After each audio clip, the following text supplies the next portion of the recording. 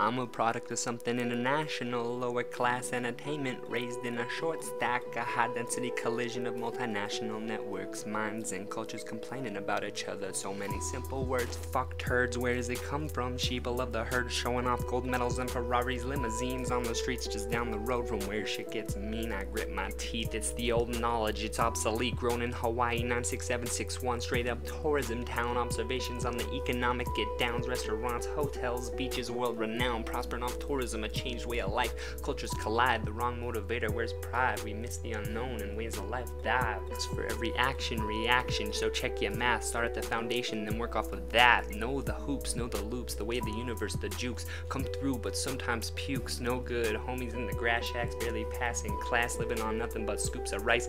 Dad's abuse and ice at the whole family, the whole aina, the whole world sacrifice. That kind of shit grips down like a vice on a society. An effect on the commodities, the way of life, the general strife. But my god, it's not that damn girl's fault. Some people just didn't know their culture isn't ready for that type of rock. The sarcasm, the fault, the stam, the illusions, the lies, the reasons that you forgot. Your insecurities gotta stop. The bullying, the false attention, the misdirection, misinformation. If you can't sweep the nation and put the demons on vacation, you better check your orientation before you fuck up this creation. It's a lot of money, food, time, and love to lift someone up. So do you first before you fuck with the rest. Only truth can make a real house guest, but it's your home born in your dome that brings you into your zone. It's you what makes you you, made true by what you do, what you eat, breathe, and think, the actions you take, the lives you make extinct or maybe amplified depending on how you live your life with the tools offered in society's brothel of picking and choosing of shared wealth to tap. People giving their two cents for 10 mil across the rap. Don't you see? Get to the streets. Utopia ain't here. It's scattered, it's frail, it's bare and unfair. Why do you think Lil Wayne's getting paid? People so far removed from the lives of so many.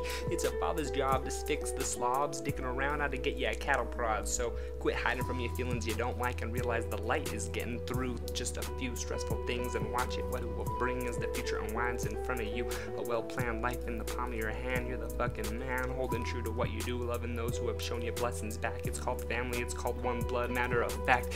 All in all, it's love and grace, care and embrace. Even 9 million billion people, there's enough plenty of space. So let's face the facts and teaching equity, teamwork, fairness, and love. We're on the brink. Minds have seen that we have exposed and grown and shown, tossed around infected drones. So now, hopefully and not forever, we can get utopia for us all. Though small, ours for a drip in time amongst the stars here to be sewn in at the seams. Yeah, let's do it.